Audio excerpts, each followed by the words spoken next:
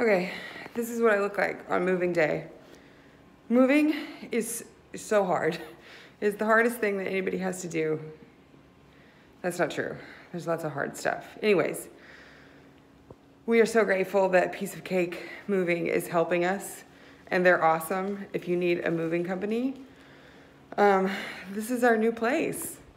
I mean, it's like, you know, not put together yet, but like, check out this 4,000 year old vanity that weighs, how do I point? That weighs 4,000 pounds that my parents had shipped here years ago, and then they moved it up like in four seconds. That's their thing, they snap. Piece of cake. Anyways, Vicci and I are so, so grateful